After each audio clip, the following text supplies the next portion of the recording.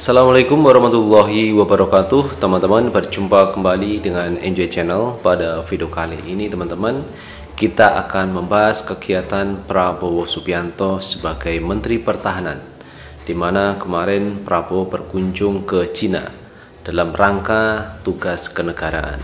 Banyak orang yang bertanya, kenapa Prabowo harus kerjasama dengan Cina? Nah, teman-teman, kita harus ingat bahwa Presiden Jokowi di awal pembentukan kabinet sudah mengatakan tidak ada visi misi menteri, yang ada adalah visi misi presiden. Jadi, apa yang dilakukan Prabowo ke Cina berarti melaksanakan tugas, misi dan visi dari Presiden Jokowi. Karena pada saat ini memang Prabowo menjadi Menteri Pertahanan. Nah teman-teman akan kita bahas secara tuntas dalam video ini. Namun sebelum lanjut silahkan teman-teman tekan tombol subscribe dan tanda lonceng notifikasi agar tidak ketinggalan video-video terbaru dari kami.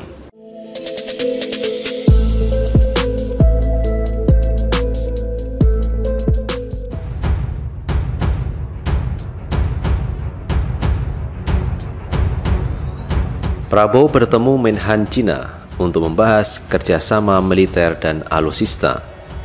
Menteri Pertahanan Prabowo Subianto bertemu dengan Menhan Cina Jenderal Wei Fenghe.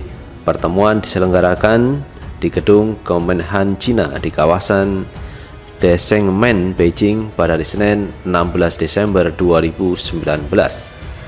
Dalam kesempatan itu, Prabowo juga bertemu State Administration for Science, Technology and Industry for National Defense atau SASTIN. Kedatangan Menhan Prabowo Subianto disambut meriah dengan upacara militer. Duta Besar RI Jauhari Orat Maun dalam siaran persnya mengatakan pertemuan bertujuan untuk meningkatkan kerjasama bidang pertahanan dan militer. Dialog yang bersahabat dan cair antara dua rekan sejawat ini membahas tentang berbagai isu terkait pertahanan negara, kerjasama kedua angkatan bersenjata Indonesia dan Tiongkok, serta masalah stabilitas dan keamanan kawasan, ujar jauh hari. Sustin pada pertemuan itu menjelaskan kiprahnya dalam pengembangan alutsista kepada Prabowo Subianto. Dia menyebut ada juga pembahasan kemungkinan kerjasama alutsista dengan Cina. Tentunya dialog dengan Sustin membahas kemungkinan kerjasama industri pertahanan dengan Tiongkok. Industri pertahanan Tiongkok telah terbukti dapat memenuhi hampir semua kebutuhan pertahanan negara RRT, ujarnya. Pertemuan Prabowo dengan Menhan Cina ini merupakan yang kedua kalinya Sebelumnya, keduanya berjumpa saat ASEAN Defense Minister Meeting Plus di Bangkok pada 18 November 2019. Prabowo dalam pertemuan kali ini didampingi Dubes RI, Johari Orat Maun, atas Pertahanan KBRI Beijing Brigadir Jenderal Kuat Budiman, Safri Samsudin, Suryo Prabowo, serta para pejabat Kemenhan dan TNI. Menteri Pertahanan Prabowo Subianto melakukan kunjungan kerja ke Cina dimulai pada hari Minggu 15 Desember 2019. Dalam kunkernya, Prabowo berupaya melanjutkan kerjasama antara Indonesia dan Cina dalam hal industri pertahanan.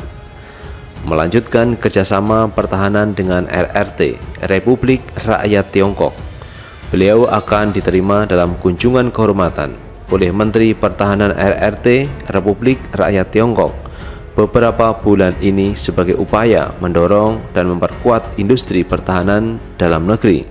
Ujar staf khusus Menhan bidang komunikasi publik, sosial ekonomi dan hubungan antar lembaga, Dahnil Ansar Simanjuta kepada wartawan pada hari Senin 16 Desember 2019. Dahnil melanjutkan, Prabowo juga menjajaki kerjasama alih teknologi alutsista sehingga SDM Indonesia bisa menguasai teknologi alutsista dan memproduksinya secara mandiri, bukan hanya membeli dari luar negeri. Menhan terus menjajaki potensi-potensi kerjasama industri pertahanan yang menguntungkan negara, khususnya terkait dengan upaya alih teknologi alutsista, kata Daniel Ansar Simanjuta. Daniel menyebut Prabowo rencananya berada di Cina selama tiga hari.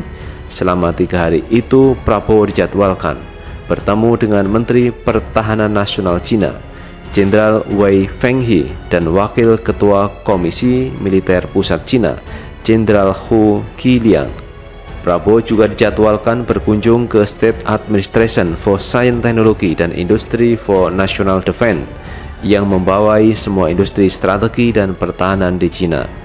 Ini merupakan kunjungan kerja kelima Prabowo ke luar negeri setelah menjadi Menhan.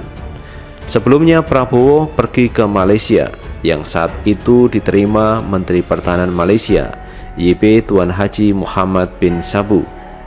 Kemudian Prabowo melanjutkan kunjungan ke Thailand dalam rangka menghadiri pertemuan ASEAN Defense Minister Meeting ADMM retreat di Bangkok. Dalam pertemuan para menhan se-ASEAN itu, Prabowo akan memperkuat komitmen Indonesia untuk membangun kawasan Asia Tenggara yang tangguh, aman, dan disegani di kawasan lainnya. Kemudian Prabowo bertolak menuju Australia, lalu ke Turki untuk bertemu Presiden Turki Recep Tayyip Erdogan. Nah itulah teman-teman beberapa pertemuan yang dilakukan Prabowo ke luar negeri. Ternyata pertemuan Prabowo ke luar negeri ini sudah yang kelima kalinya sejak Prabowo diangkat menjadi Menteri Pertahanan di Kabinet Joko Widodo Ma'ruf Amin. Dan kali ini pertemuan dilakukan dengan Menhan Cina. Jadi ada semacam kerjasama di bidang pertahanan antara Indonesia dan Cina. Dan ini diharapkan kerjasama akan berlanjut sehingga hubungan akan lebih harmonis antara Cina dan Indonesia. Harapannya seperti itu karena dua negara ini sebenarnya sudah lama berkomunikasi, bekerja sama, baik di dalam kerjasama dengan pertahanan maupun di luar pertahanan. Karena bagaimana juga Cina adalah kekuatan besar ekonomi dunia. Itulah teman-teman yang bisa kami sampaikan terkait kegiatan Prabowo Subianto yang berkunjung di luar negeri. Dan kami hanya mengabarkan teman-teman yang bisa menilainya.